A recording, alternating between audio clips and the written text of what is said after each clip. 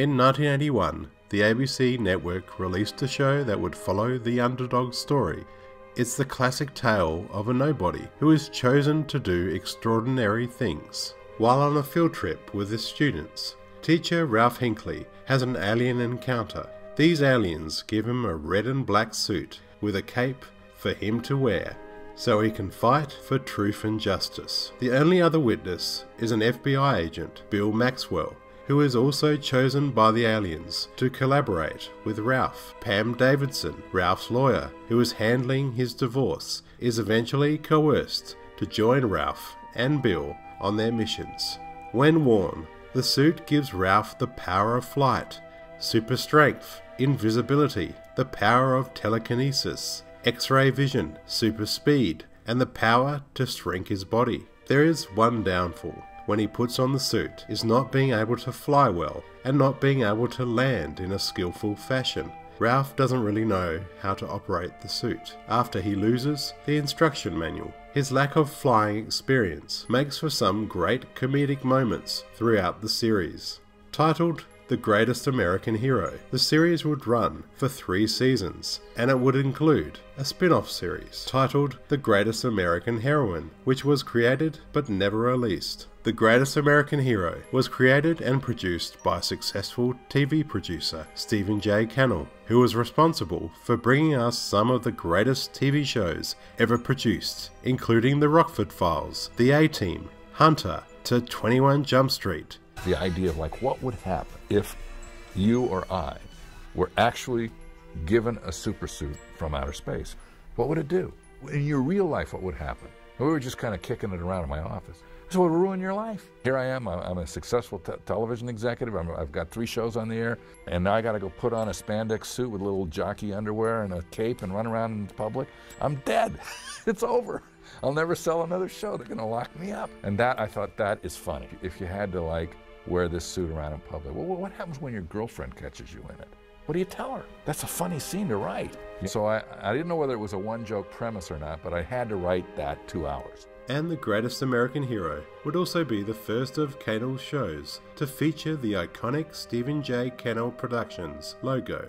The series premiered as a two hour pilot movie on March the 18th of 1981 Stephen Cannell had originally planned The Greatest American Hero as a series which focused on real life problems. As agreed, originally between Cannell and ABC executives Marcy Carsey and Tom Werner, the powers would be in the suit, not the man. So I went back to Marcy and Tom and I said, okay, I'll do it, but I have one provision. And they said, what's that? I said, the powers have to be in the suit, not in the guy. And the powers only happen when he puts the suit on. And other than that, he's just you or me and they went for that. The series was very different from previous superhero shows because the emphasis was on our main character, Ralph, rising above his superhero antics. Cannell wanted to steer clear of the cliche Adventures of Superman style episodes, which were mainly directed at kids. The design of the symbol on the front of the suit actually came about after a costume designer asked Cannell what emblem he wanted on the suit. He wasn't sure, so the costume designer found a pair of square handled scissors on his desk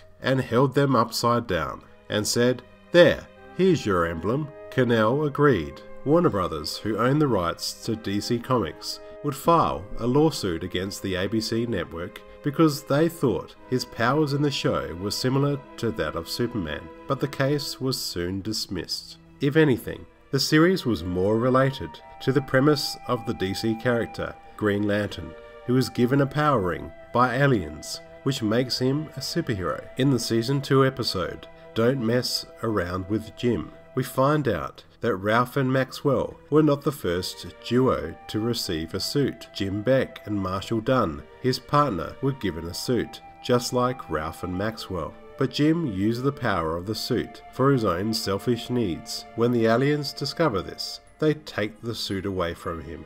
The ABC network wanted to change the surname of the main hero and changed the last name from Hinckley to Hanley in the latter part of the first season, due to the character bearing the same last name of John Hinckley Jr., the shooter who shot and wounded the current president at that time, Ronald Reagan. The character ended up being referred to on the show as either Ralph or Mr. H. In the season 2 premiere of the series, the producers would return the character's surname to the original last name of Hinckley. In casting the lead role of teacher Ralph Hinckley, they cast likable actor William Katt, who had already starred in films like Big Wednesday and Carrie. Katt fit the role of the everyman swept into a world of adventure after receiving the suit perfectly. William Katt hated wearing the suit and found it to be very uncomfortable, so a number of modifications to the suit were made to make him more comfortable. Robert Culp was cast as Bill Maxwell, Ralph's reluctant partner. Culp starred in the 60s TV hit I Spy alongside Bill Cosby and was seen in an episode of The Outer Limits, among other shows. I cast Robert Culp because Robert Culp has been one of my favorite actors forever. He did a series, it was a Western, and I remember it was a half hour black and white Western, and I remember that was the first thing I'd ever seen Robert Culp do. And he was just so cool in this in this Western. And I told him once, I said, in Trackdown, you were so cool. And I love that slouchy walk that you had. And he goes, oh man, he said, the walk is everything in a character. The walk is everything. So I remember back from those early days when I was a little bit younger than Robert, and I remember watching him when I was still in school, and I loved him in I Spy. I just wanted him in the part. And when he came in and was willing to play not a, an older kind of romantic type of lead, which he is, you know, he's a very handsome man, you know, but was willing to play this guy in a bush jacket with a checkered shirt and just really a strange guy, you know, that he played for me.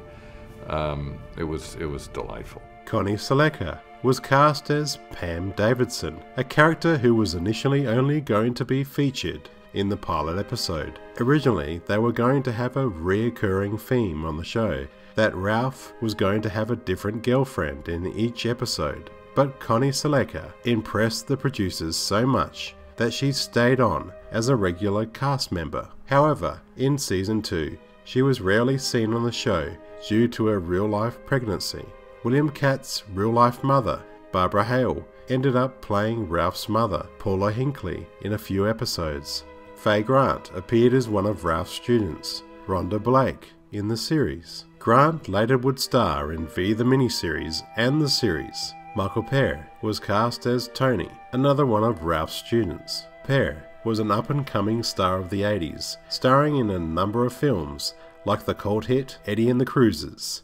William Katt said that at first he and Robert Culp didn't really get along, but he would add that they were able to use that to their advantage, as their relationship reflected the relationship between their characters on the series. They eventually were able to resolve their differences and move on, and actually become good friends by the end of the series. ABC would officially cancel the series before the last four produced episodes were aired. These lost episodes were sold off for syndication, included in the rest of the series, as part of its package. The memorable Feel Good 80s theme song, titled Believe It or Not, was composed by Mike Post, with Stephen Geyer writing the lyrics, while singer Joey Scarbury sang the song. The song was given the title Believe It or Not, and the song would actually reach number 2 on the Billboard charts. And the song was one of the biggest selling songs of 1981, lasting 18 weeks. After the three season run, there were talks of doing a fourth season, but due to William Katt's commitment to the show Perry Mason, he would not return in a full series as Ralph. Brandon Tartikoff, the head at ABC, thought it was a mistake ending the original series and decided NBC should recreate it with a female protagonist. The main premise of this pilot would show Ralph Hinckley's secret identity finally being revealed to the public, resulting in him becoming a celebrity which the aliens dislike, and they tell him he has to find someone else to take over the suit. He finds a young lady named Holly Hathaway, played by Mary Ellen Stuart, and spends most of the episode teaching her how to use the suit. Once the transfer of the suit is made to Holly, they explain that all memory of Ralph's exploits will be purged from the world's memory and remembered only by Ralph, Pam, and Bill. The Greatest American Hero has become a cult hit, and has been referenced in many TV shows, including The Big Bang Theory, where we see Sheldon Cooper wearing a Greatest American Hero t shirt a number of times. The Greatest American Hero was a unique series, but fun and enjoyable. William Katt was wonderful in the role of Ralph, as was the support actors Robert Culp and the lovely Connie Sellecca. The overall premise was different to most superhero shows on TV at that time because the main hero wasn't the well polished superhero you usually see on TV and movies. And the show was more believable to us as an audience because any ordinary person could have worn the suit. The Greatest American Hero was a true gem of a show. The effects may look a bit hokey and B grade by today's standards, and you can forgive this because the characters are truly what saved this show from being just a forgettable sci fi fantasy TV show from the 80s. My name's Jonathan. Thanks for watching. If you enjoyed this video and like what you see on my channel, please subscribe. And if you would like to become a patron on my Patreon, click on the link below.